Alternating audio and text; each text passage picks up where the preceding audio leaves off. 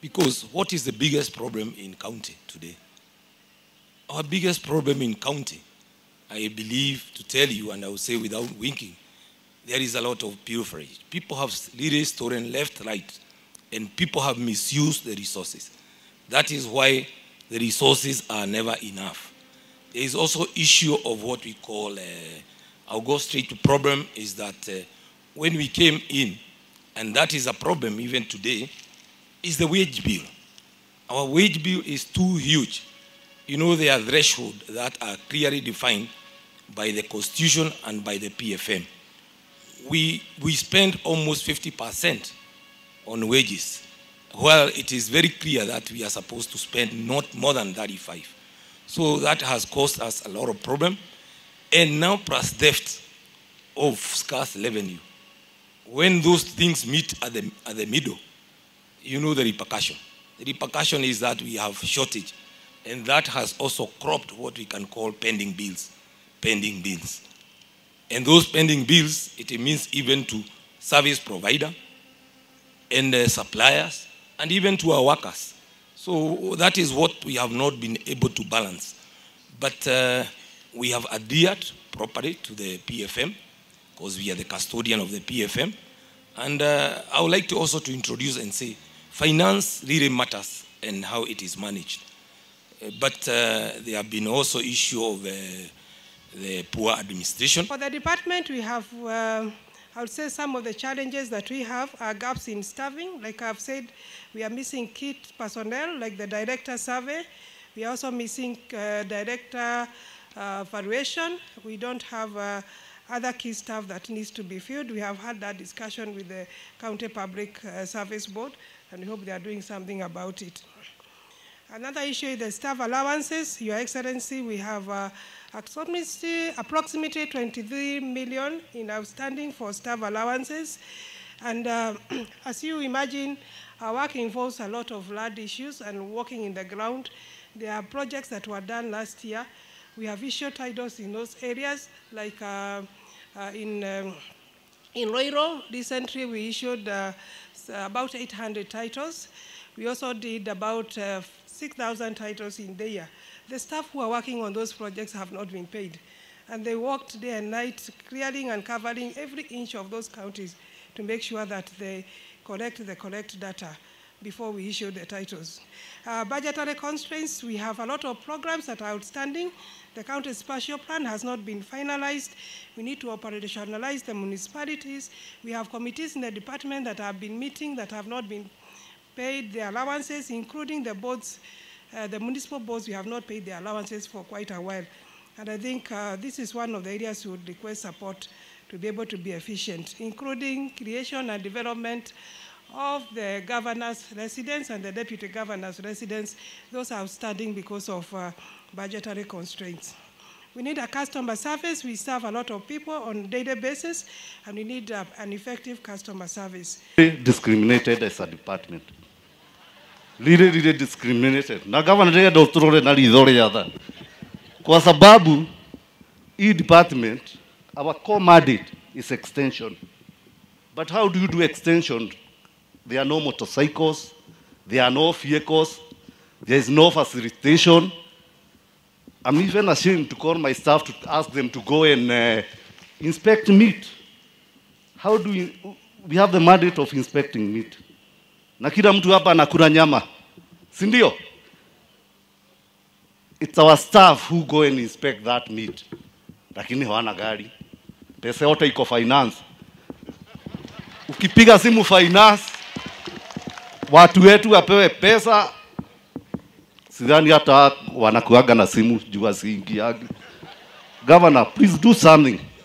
You have to uh, devolve money. Pesa lazima itoke finance iingie departments. Kwa sababu kazi ni hawa wanafanya sio watu wa finance. Ha? ni sisi tunaenda kuinspect nyama na hiyo nyama inalipwa veterinary anaangalia mtu wa finance anachukua pesa halafu huyu veterinary hapatui pesa ya pikipiki na boda na hata hiyo stamp ya kupiga nyama so governor please do something And all these challenges have been caused by having one super department of finance. We should be equal. You know, sometimes I'm ashamed tukienda mahali maybe kuna kamchango. Unaona wale watu wa finance directors wanatoa 20000 chief officer anatoa elfu mbili mimi. You know? And it should be the other way around. Kwa hivyo governor please tuangalie. Utroe tuna ridhore ya rĩatha tafadhali. The challenge, Your Excellency, I would like to talk about is uh, this staff of us, particularly the environment people, they work in hard uh, areas, and have been moving around to see them. Uh, they sometimes uh, their conditions of working are quite wanting, and they are considered. They are not considered like the others. I know we have health department where they have uh, strenuous allowances. I think you need to consider that, Your Excellency, because they work even over the weekend, and they are the people who provide services to these people. Uh, the other thing, Your Excellency, uh, I love them, but they're also affected by issue of, of depression. I've found that, uh, and I work in the county, a lot of beer, pombe wanakura sana wengi. And it's not only our people. There's a problem, Your Excellency, and we need to think about that. A lot, a lot in terms of staff depression. The other thing that I have found, and it's clear, that our people, uh, we inherited a lot from the default uh, municipal councils, and a lot of them, they have exited the department, and therefore we have few staffs.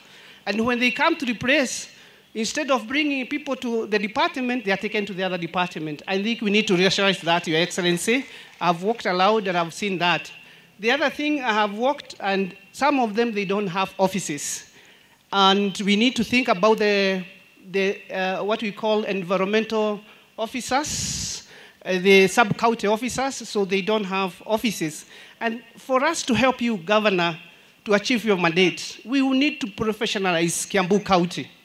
You find a director does not have an AI, authority to incur. So they don't work, they don't have books, they don't have pens. I think this is a high time we look at that. We rationalize and we give them materials to work. Finally, Your Excellency, um, they will also need to be seeing you more often. Uh, we may need such occasions to come and tell you what we need and how you can also solve that. Well, you- with with your support, we're able to start those services. We would like to have renal services in most of our level four hospitals. Currently, renal services are only offered in Gatundu and Thika, and suboptimally, only about uh, uh, 10 beds that work. We have good infrastructure in Wangige, and we have space for renal. We have the same in Tigoni. Githunguri is also coming up. So we really would uh, request for your great support, Your Excellency, towards improving service. All this we also need to improve increment of our revenue. With the study shown, and it has been implemented in some other counties, is that uh, the level four and five hospitals in our county, according to our 2022-23 budget, we can be able to raise over 1.4 billion. And this, when invested back into the hospitals in terms of service, Kiambu County might even reach a point where the exchequer will not be our source of, of uh, revenue. The Facility Improvement Fund, Your Excellency, started on uh, 11th of February of this year. And with that, we have seen a lot of change in our level 4 and 5 hospitals. If the, we have NHIF, even at dispensary or health center level, there will be a payment through NHIF. And that fund, that money will be used to be reinvested in that uh, facility.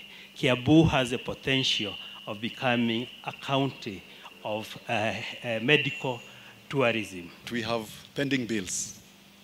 Quite a lot of heavy load in county pending bills, which has resulted into apathy of our contractors. So these days we float tenders and our contractors no longer want to do business with the county. So it's a big issue for us because that derails our service delivery. We are also uh, faced with uh, challenge of the budget. When we look at the road network for Kiambu, we have about 8,000 kilometers. and out of that, 6,000 are directly under the county responsibility. Uh, And, and it is a, a tall order to maintain that road network if you don't have sufficient budget. So, so we need to work out how to manage that. We have a few other small, smaller challenges, like our uh, team, our engineers are no longer mobile. So you have a, a sub-county and you cannot move from one area to the other. Some of them have reverted into using motorbikes and, and walking. So it's a bit of a challenge. Is lack of mobility for our staff. And when I talk about this, I'm talking about the extension staff. Uh, we can all imagine that our staff, in the number of about 200 technical staff, have to reach about 400,000 farmers. And that requires mobility. Uh, I'm sure uh, with your guidance and vision, we should be able to overcome this problem. Uh, the other one, which you may be able to realize, and this is uh, natural, is the realignment of the rainy seasons to our calendar of the financial, uh, the financial budget. There's quite a big uh, mismatch because, like now, we are heading to October. We are supposed to be giving uh, input to farmers, but you can see our budget is not yet actualized. So that's something I think we need to sit down and see how to realign so that we overcome that problem. Uh, the other one, uh, Your Excellency, uh, and this, I don't know how to put it, but I think the other challenge is uh, aging workforce. If I start with my chief officer, you can see he's already has gray hair, Dr. Kamundia, so on a right touch. But uh, we have a problem of aging workforce, such that the staff that you see seated here will be 80% of them will be retiring within the next three years. So we have uh, what we call succession gap, and I hope we'll be able to address that. Uh, the other thing, Your Excellency, is the issue of data. And I think we need to digitize so that each value chain in Kiambu, be it dairy, coffee, we don't have actual data of the key uh, players. And I think that is something we need to work on so that at a click of a button, we're able to tell the status of the several value chains that we have in, in our county. sure you are aware, you've heard. So, without taking uh, any more, I want quickly just to introduce uh, together. I don't know whether you have another mic or I just go through very quick. I think I know everybody. We have uh, Waziri Kireko, Eric Kireko, Youth, Sports and Communications with the tree. I don't know that it was purposeful. Uh, cooperatives. He's with his people behind a tree. Thank you. Uh, you can remain seated. Then we have uh, uh, finance. We have Waziri Mboro Kangede Wilson, and then William City Finance. Were finance? Hata cashews, wherever you are, you can wave. Mr. Kuria. Then we have Kamundia. Asante sana. Watu wa agriculture, asanteni sana. Environment, water. We also have the director who is there. He was he had an exercise area today. The officer Gekonyo. Uh, you can wave. The camera people are blocking me. I can't see. We have education. Uh, Waziri Mary. Then we have Chief Officer Karanja. Anybody else? Hey, you're also behind a tree, almost behind. We have roads, transport, public works and utilities uh, from the six sub-counties of uh, Kiambu West. That is uh, Githunguri, Lari, Limuru. Githunguri also is there. So, Governor, this is the team, and I want to thank them for taking the shortest uh, request. And uh, I want to stop there. Uh, you'll be given two minutes. You decide whether you want to speak with your CEO, the CEC. We are not. Uh, st- and you did not say stand that I see you. So anyway, I want to make my apologies, and I think I have a vendetta. And maybe also because I think uh, Governor, it's good also to introduce. I know we work with your secretariat and uh, people. See. Sorry, sorry. Githunguri mko hapa? Poleni pia karibu ni wasahau. Asanteni sana. So waziri, Just uh, as a guide, when you come, it's important to mention the number of workers in your department. I think it's very good, uh, quite fast. Thank you. But as a diplomat, um, you cannot afford to say, not to say. Pinky Ponke, Pinky Ponke. Thank you very much. No, no, no, no. Kamudia, you will, you will, you will have to do another day. So let's have a. We have 1,398 permanent workers. We have kupoteza muda nataka kumwalika waziri wa trade. Uh, please, let us now avoid repeating what has already and we want to support you. And, and finance, uh, I want to urge you and to remind you that discrimination is against the law. Please look at everybody equally. I close. Aha, thank you very much. Those are the guys of my lady, my lords. Okay, so, Your Excellency, with your permission, I'm told that the Department of Administration wanted. miaka kumi ambayo wamekuwa, how many senators do, do you know is katika hiyo ruzuku yake manifesto? Kuna hiyo mambo ya kuongeza uzalishaji wa ukulima wa county, kama chief officer ameongea na waziri, watu ambao mko qualified na anawachukua kama watu wake, as they say in Kikuyu, watire mwana wangu wangu na wada. So the governor is going to take all of you of the Wapina call or the first pillar imetendeka vizuri. Tuta, kama board tuko tayari na wewe kudili na wa, wa, wafanyikazi wale ambao wako wanaharibu jina wengine, tunajua namna tutachukua because Thank you very much, Alan. Because of time, my name is Gibson. I'm the Chief of Staff. To address us and to tell us where he wants us to go from here. Thank you. ya kwamba sisi pamoja tunaamua ya kwamba tunaanzisha safari mpya ya kubadilisha hii kaunti yetu. tuhakikisha ya kwamba kaunti ya Kiambu kuangalia mbele ni kaunti tofauti. Nataka ule mtu mwenye ameamini na ameamua na amesema ni kweli, tunatembea safari moja, uinue mkono wako. Asanteni sana. And then we can have a national.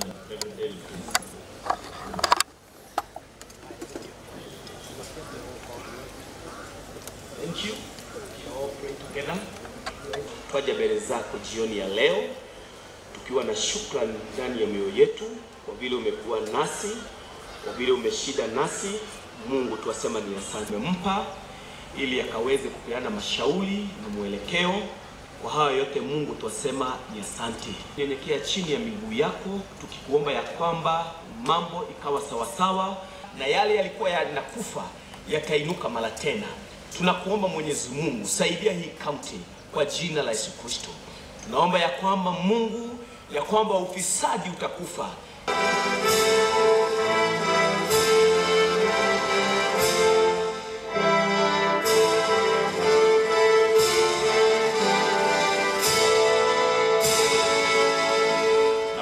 Sasa kwa heshima, mkiwa mmetulia hivyo, tumwachilie gavana tafadhali, nigetha hata kuhitoka wega tutekumuthenia tugucoka just in a minute we can leave